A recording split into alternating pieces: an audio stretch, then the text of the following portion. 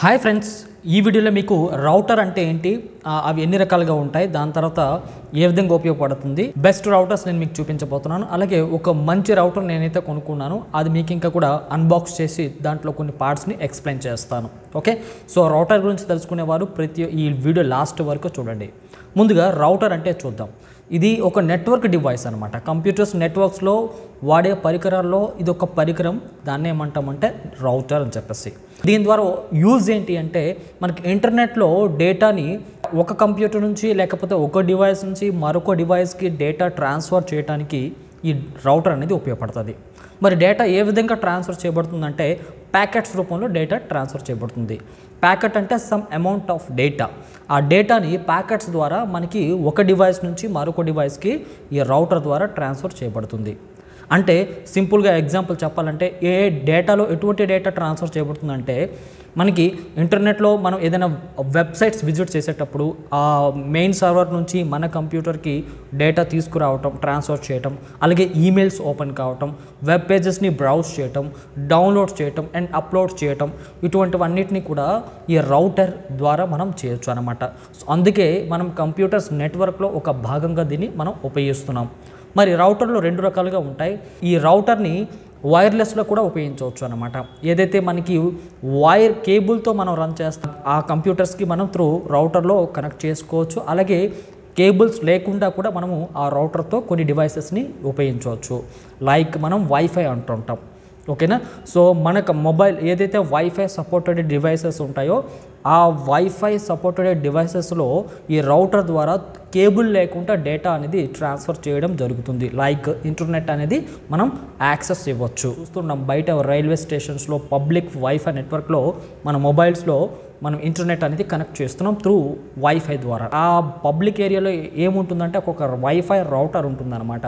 So ఆ wifi రౌటర్కి ఒక కేబుల్ ఇంటర్నెట్ కేబుల్ అనేది మనం ఇన్పుట్ చేస్తాం. దాన్నే వ్యాన్ కేబుల్ అంటారు. ఓకే సో ఆ కేబుల్ ఇన్పుట్ చేసిన తర్వాత ఆ ఇంటర్నెట్ని త్రూ వైర్లెస్ ద్వారా సిగ్నల్స్ ఇవ్వడానికి ఈ రౌటర్ అనేది ఉపయోగపడుతుంది. అర్థమైందా? అలాగే ఈ రౌటర్లో వైర్లెస్ మాత్రమే కాకుండా త్రూ కేబుల్ ద్వారా ఇంకా కూడా మనం సిస్టమ్స్ ఆర్ ల్యాప్టాప్స్కి కనెక్ట్ చేసుకోవచ్చు. దాని ప్రతి వైఫై రౌటర్కి బ్యాక్ సైడ్ కొన్ని పోర్ట్స్ ఇస్తారు. LAN ports. దాంతో ఇంకా కూడా మనం సిస్టమ్స్కి డైరెక్ట్గా కేబుల్ సహాయంతో కనెక్ట్ చేయొచ్చు. అలాగే ప్రతి వైఫై రౌటర్కి మనకి కొన్ని యాంటీనాస్ అవుతూ ఉంటాయి. ఆ యాంటీనాస్ల ద్వారా మనకి త్రూ కేబుల్ సహాయం లేకుండా మనకి సిగ్నల్స్ అనేది బయటికి డిస్ట్రిబ్యూట్ అవుతాయి. సో అప్పుడే మనం మనం laptops and mobiles wifi supported ఉన్న మొబైల్స్లో మనం ఇంటర్నెట్ అనేది యాక్సెస్ చేయగలుగుతున్నాం. మరి వైఫై రోటర్స్లో చూస్ చేసుకునేటప్పుడు మన బడ్జెట్ బట్టి మన అవసరాన్ని బట్టి మన రేంజ్ని బట్టి వైఫై రోటర్స్ అనేది సెలెక్ట్ చేసుకోవాలి. బేసికల్గా మనకి దగ్గరలో okay? One or two devices maximum five devices వరకు మనము ఒక రౌటర్కి కనెక్ట్ చేస్తాము అనుకుంటే బేసిక్ రౌటర్ని తీసుకోవచ్చు. అలా కాకుండా వైడ్ రేంజ్ కొంచెం డిస్టెన్స్ కవర్ అవ్వాలి లాంగ్ రేంజ్లో కూడా మనకి ఇంటర్నెట్ కనెక్ట్ అవ్వాలి మొబైల్ వైఫైలో అని అనుకుంటే కనుక అది కూడా ప్రాపర్ సిగ్నల్స్తో మనకు రావాలి అనుకుంటే డ్యూయల్ బ్యాండ్ వైఫై రౌటర్స్ అని ఉంటాయి. వీటిలో మనకి యాంటీనస్ అనేవి ఒకటి కాకుండా రెండు ఉంటాయన్నమాట. మరికొన్ని రౌటర్స్లో చూసుకున్నట్లయితే నాలుగు యాంటీనస్ ఉంటాయి. మరి ఆ ప్రకారంగా చూసుకుంటే డిఫరెంట్ డిఫరెంట్ రౌటర్స్ని కూడా నేను మీకు ఇప్పుడు ఈ వీడియోలో చూపించబోతున్నాను. అలాగే నేనే రౌటర్ అయితే కొన్నానో డీలింక్ రౌటర్ అది అన్బాక్స్ చేసి మీకు నేను చూపిస్తాను. ఫస్ట్ అన్బాక్స్ చేద్దాం. మిగతా విషయాలు తర్వాత మనం మాట్లాడుకుందాం. ఓకే చూడండి ఫ్రెండ్స్ నేను తీసుకుంది వైఫై రౌటర్ ఇది. దీంట్లో డిఫరెంట్ స్పెసిఫికేషన్స్ ఉన్నాయి. అండ్ ఎందుకు నేను ఈ రౌటర్ తీసుకున్నాను? ఓకే ఇది మిడ్ రేంజ్ రౌటర్ అన్నమాట. నేను ఆల్రెడీ అయితే అన్బాక్స్ చేసేసాను ఓపెన్ చేశాను. ఓపెన్ చేసిన తర్వాత మీకు రౌటర్ ఇలా చూడొచ్చు. నేను ముందు రౌటర్ని ఇలా పక్కన పెట్టేసి బాక్స్లో ఏ కంటెంట్ అనేది ఇచ్చారనేది ముందు చూసేద్దాము. దాని తర్వాత ఈ ఫీచర్స్ ఇంకా కూడా మాట్లాడుకుందాం. ఫస్ట్ ఆఫ్ ఆల్ మోడల్ వచ్చేసి D link DR six fifty in అని చెప్పేసి. ఎన్ త్రీ హండ్రెడ్ మోడల్ అనమాట ఓకే ఈ సిరీస్ అని అనుకుంటాను ఇవి.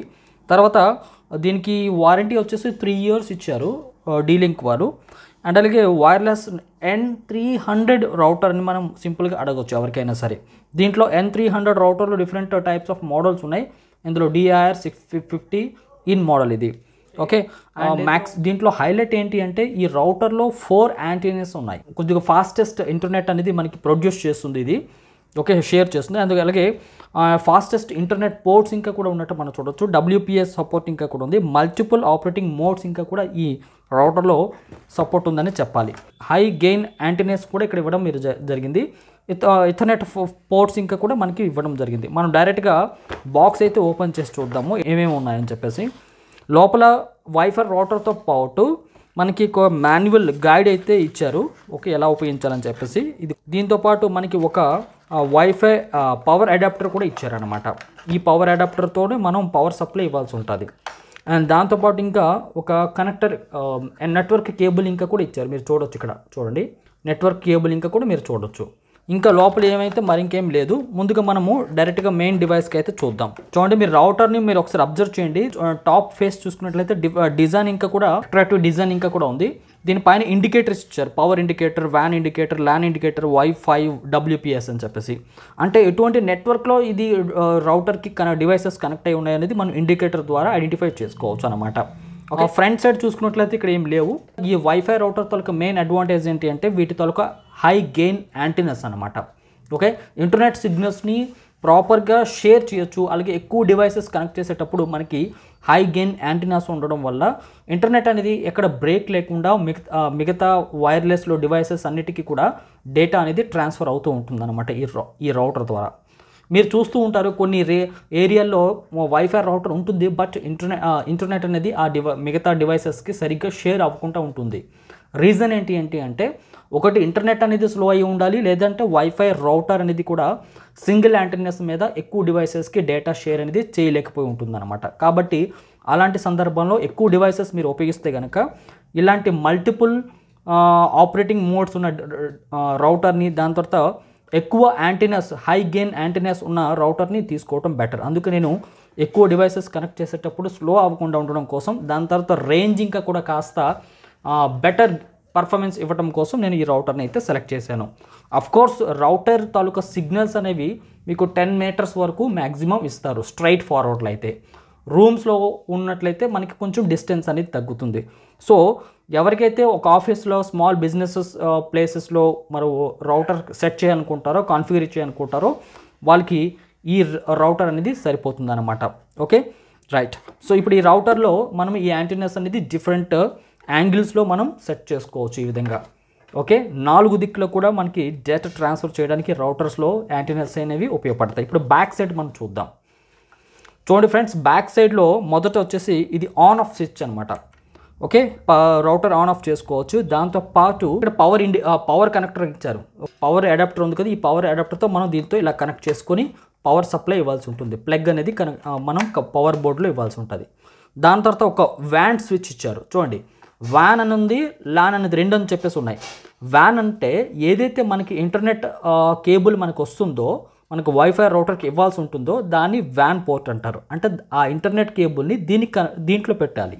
ఓకే ఫర్ సపోజ్ మీకు ఇంటర్నెట్ కేబుల్ అనేది ఇన్పుట్ అయింది ఒకటే ఒక కేబుల్ సో అది ఈ విధంగా ఉంటుంది. చూడండి ఇది network cable RJ forty five port అంటారు కేబుల్ అంటారు. ఇది RJ forty five port okay so ఈ కేబుల్ని మనం తీసుకోవచ్చు ఇట్లా పెట్టుకోవాలన్నమాట. ఇదేంటిది? మెయిన్ ఇన్పుట్ అనుకుందాం.